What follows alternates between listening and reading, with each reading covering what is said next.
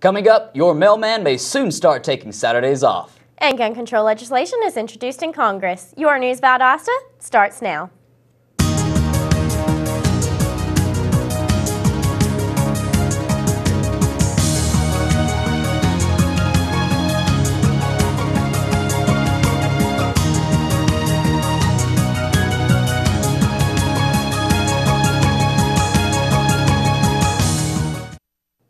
Welcome to News Valdosta. I'm Gabby Garrett. And I'm Reed Burkett. In the news today, your mailman is one step closer to taking the whole weekend off. In an effort to save money, the United States Postal Service will halt Saturday deliveries of first-class mail beginning August 1st. Republican Senator Tom Coburn says the move will save the company approximately $2 billion. Senator Coburn and Representative Darrell Issa are both on the committee that oversees the Postal Service. They're sending a letter to the House and Senate leaders today urging them to support the elimination of the Saturday Postal Service in hope to change the law which has prevented USPS to do so in the past. Veteran Eddie Ray Routh is currently being held on two counts of murder in the slayings of Chris Kyle and Chad Littlefield.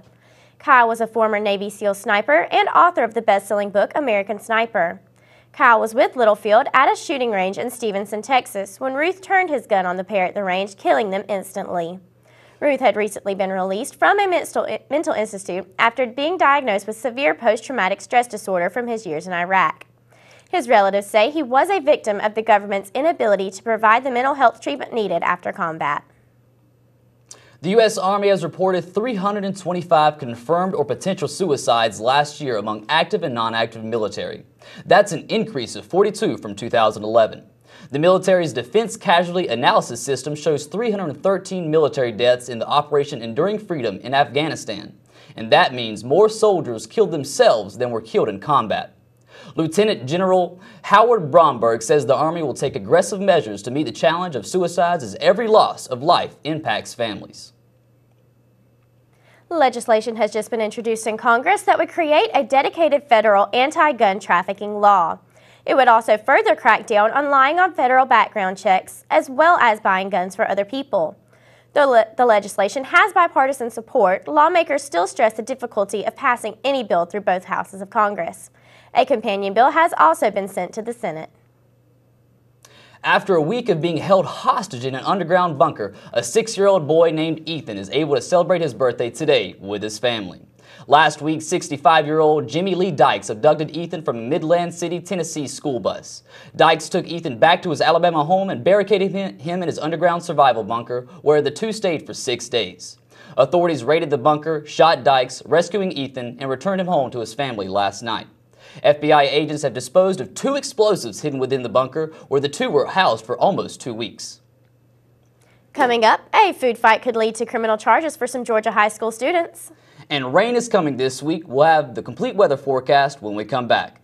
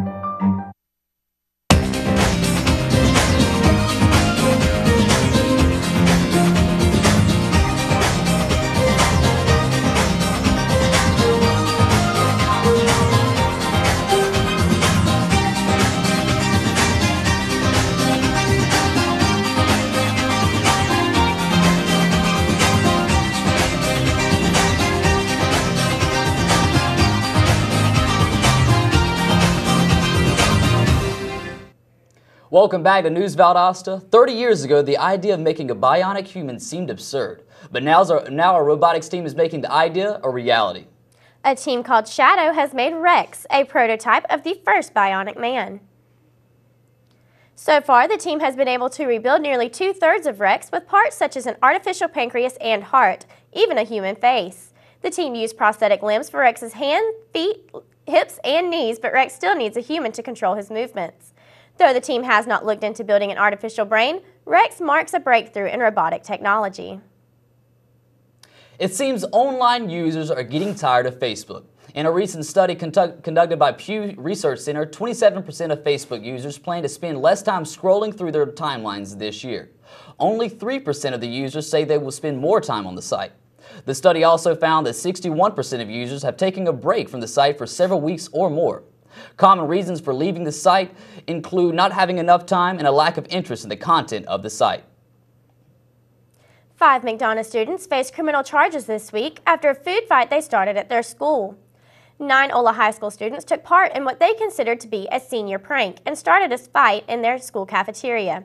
The officials did not think the food fight was funny, and now five of the students face charges ranging from disruption of a public school, obstruction of justice, and failure to disperse. The students are meeting with school administrators this week to find out what punishment they may face. Bullying is a problem sweeping schools all over the nation and can be linked to low self-esteem. But News Valdosta's Yolanda Mitchell has more on ways to change that. Bullying is an old problem with new headlines filling the papers daily. Five-time black belt and owner of performance martial arts, Mitchell Church, is finding a way to fight the problem by building self-esteem through martial arts. Uh, we have a, uh, a PA that parents fill out and lets us know what they're wanting their child to actually get through the program. Uh, we have four certain areas, and all of them go right back to self confidence and self discipline. And if you have that, if you have the self confidence and self discipline, you more than likely you won't be bullied because you know how to prevent that and what to do if the situation occurs. So you don't really have that, but a lot of parents bring them to us for that reason. Absolutely. Bullying often stems from a child having low self esteem or by a child that was bullied themselves. Suicides and school shootings have both been linked to bullying. Students at the Academy are taught ways to defend themselves if they are approached by a bully. They are also taught skills such as self esteem, discipline, self defense, and being good citizens.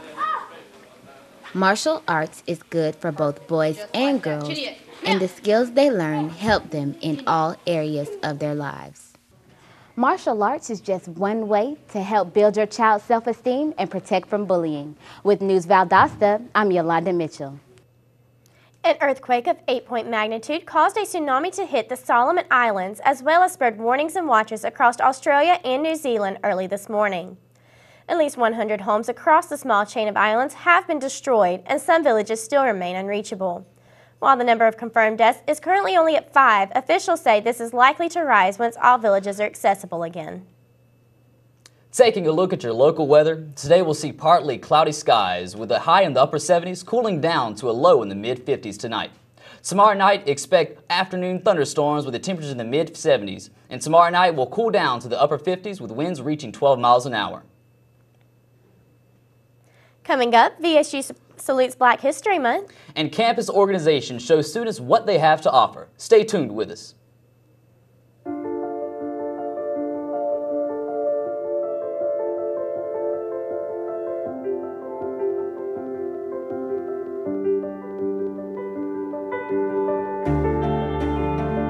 Body language. Without saying a word,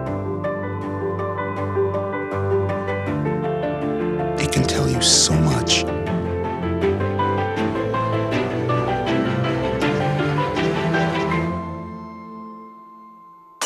Like someone is having a stroke. Know the sudden signs. Learn fast. F. Face drooping. A. Arm weakness. S. Speech difficulty. T. Time. Time to call 911 immediately. The sooner they get to the hospital, the sooner they'll get treatment, and that can make a remarkable difference in their recovery. Learn the body language, the sudden signs, and spot a stroke fast. I got my MBA online at VSU. As a working mom who travels on business, I needed an MBA program that fit my schedule and allowed me to balance both my work and home life. VSU's Web MBA was perfect. I was able to spend time with my family in the evenings and then complete my assignments. My MBA is one of my greatest accomplishments. It was hard work, but I would do it again in a heartbeat. Don't wait. Start your MBA today. Welcome back to News Valdosta. I'm Gabby Garrett. And I'm Reed Burkett. Road construction here in Valdosta is about to shut down a local road for the whole month of February.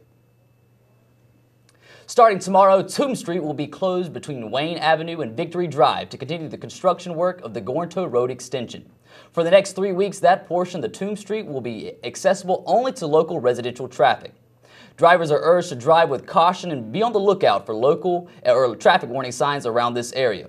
The street will reopen to all drivers and traffic on March 1st. In honor of Black History Month, VSU's Music Department and African American Studies program will sponsor a performance by the American Spiritual Ensemble tonight. The event starts at 7 p.m. in Whitehead Auditorium. The ensemble puts on diverse concerts to keep African American spirituals alive, but also perform classical and Broadway songs. Tonight's performance is free of charge and open to the public. For more information on upcoming concerts, you can check the Department of Music's calendar of events on the VSU website. As the VSU semester gets in full swing, the annual Student Organization Fair took over a part of the campus this week. Students could receive information about the organizations as well as to get some awesome treats. News Valdosta's Brigé Wiley has the story. Save! VSU Hi, I'm Marina from SAVE, and we're Students Against Violating the Environment. We're back this year, and we're better than ever. We're actually going up to Washington, D.C. to protest against different environmental causes and things on campus. Air Force Reserve Officer Training Corps. My name is Alvarine Wagner. I'm a member of BC College Democrats. And what we do around campus is we do a lot of things with political awareness and activism.